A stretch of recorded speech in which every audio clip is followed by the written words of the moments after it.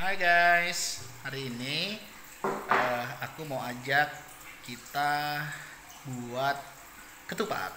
Eh, ketupatnya sih cangkangnya udah jadi, cuman kita mau buat eh, isinya, kemudian olahannya. Nah dalam pembuatan ketupat ini, aku buat dua jenis ketupat. Yang pertama ketupat pulut atau ketan, yang kedua ketupat yang dari beras. Nah, cara pengolahannya beda dan cara masaknya beda, menu makannya juga berbeda. Oke? Penasaran? Yuk, ikutin guys tuh. Suara gorengannya udah cush. Enak banget. Oke? Ya ikutin ya apa aja yang harus disiapkan, bahan-bahannya apa aja. Oke, check it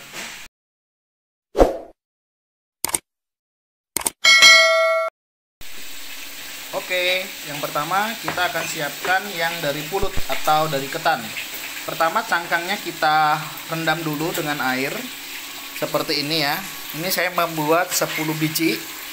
Ya, saya akan buat dari pulut. Nah, ini pulut tuh kayak gini, guys. Ya, ini ketan. Apa aja yang dibutuhkan? Pulut berapa gram tadi, Mak? Oh, ini setengah kilo atau 500 gram. Kemudian kita akan memberi santan itu satu bungkus ukuran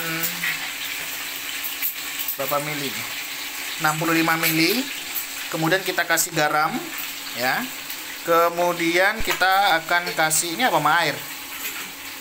Untuk rendam pulutnya oke jadi hmm, bisa pakai santan yang udah sasetan udah jadi maupun santan yang biasa orang bikin. Kita pilih yang praktis aja dan ini bahannya kemudian kita akan rendam. Ini masukkan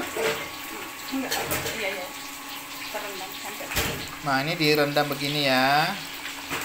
Nah seperti ini terendamnya. Kemudian kita akan masukkan santannya. Bisa mah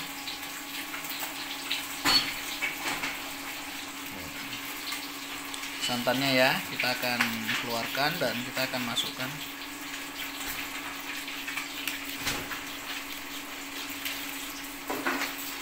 Oke.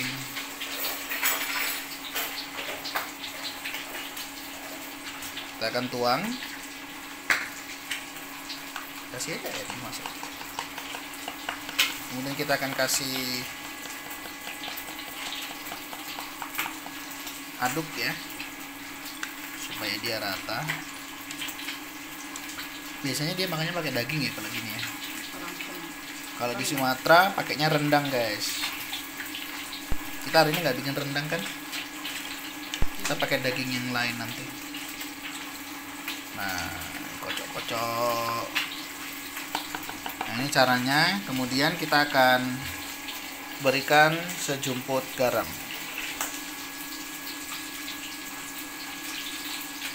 Oke ini garamnya. Diaduk-aduk suaranya suara dapur banget ya guys. Dah kita rendam kurang lebih. Berapa lama mah direndam berapa lama? 20 menitan ya guys. Sabar A few moments later. oke guys sekarang cangkangnya udah kita tiriskan dan kita memasukkan bahan-bahannya. Ikutin ya. Kakak Nana mau bantu kita. Dia baru bangun guys Tweet.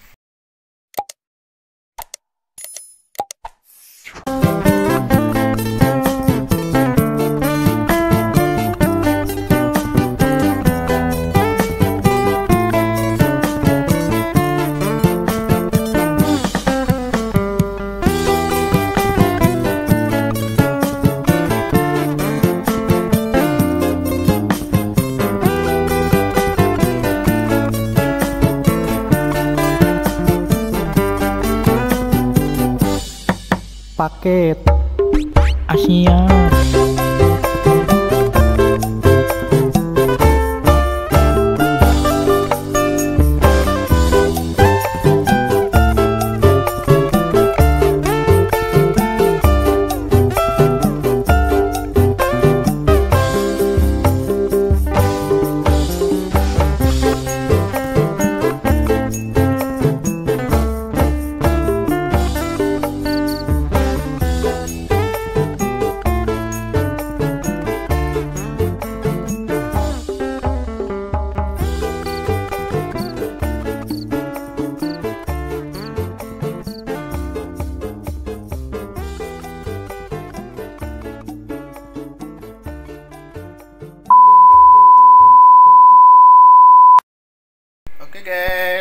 selanjutnya setelah tadi di habis dari 500 gram ini menjadi banyak 6 nih ya nah kita mau masaknya pakai magic comb biar gampang dan lebih mudah. Kemudian kita masukkan santan yang sisa tadi yang sudah kita bikin di magic comb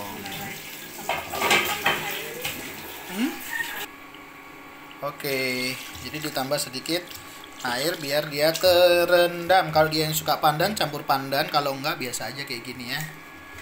Nah ini ya. Kalau yang nasi dia kayak gitu. Dia biasa aja masaknya ya. Jadi nanti airnya mendidih dimasukkan tunggu. Nanti dia udah masak udah deh bisa dinikmati. Oke. Udah siap magicomnya belum? Oke ini yang nasi ya guys. Kita jadi empat aja. Ini yang pulut atau ketan. Jadi ukurannya dia 70 gram atau 80 gram ya per satu ketupat. Jadi satu ini satu porsi orang makan memang sebenarnya. Oke okay guys. Check it oke okay, sekarang kita udah siap masukkan ke dalam magicom nah seperti ini biasa magicomnya kemudian ditutup.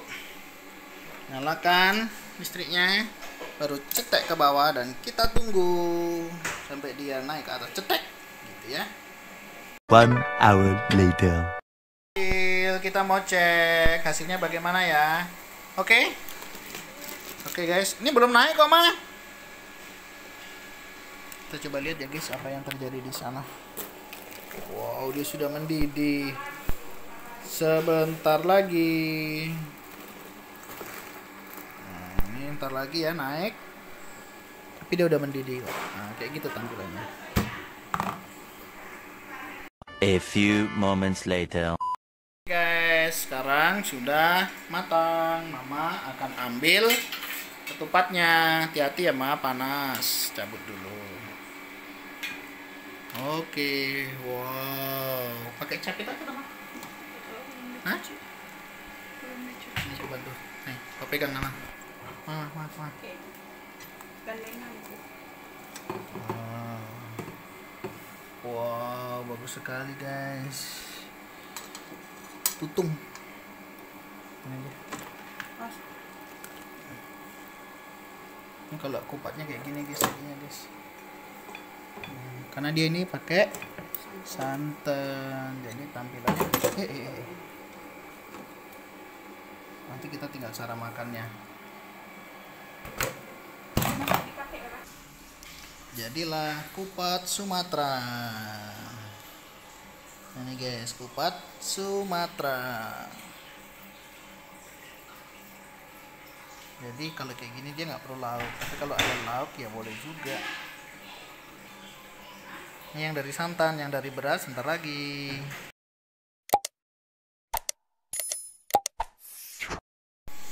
Oke guys, air kita sudah mulai mau mendidih. Ketupat sudah bisa dimasukkan.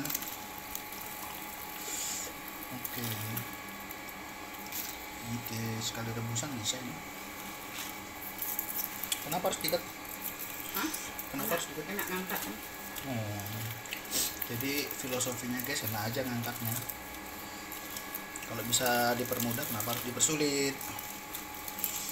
Direbus kurang lebih setengah jam. Lama.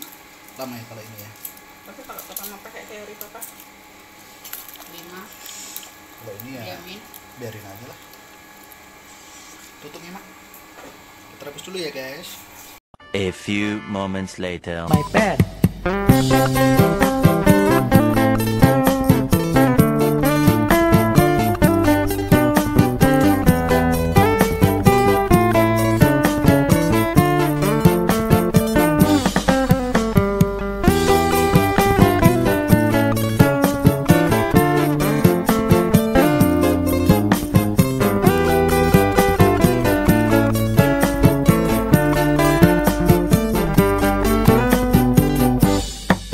Paket Asia.